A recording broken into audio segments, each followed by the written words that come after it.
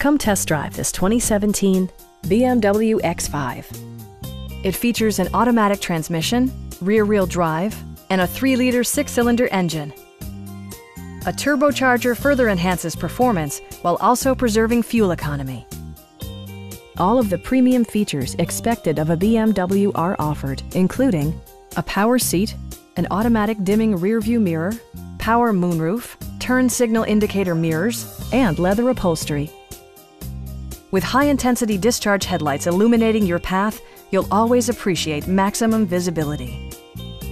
Take assurance in side curtain airbags, providing head protection in the event of a severe collision. Please don't hesitate to give us a call.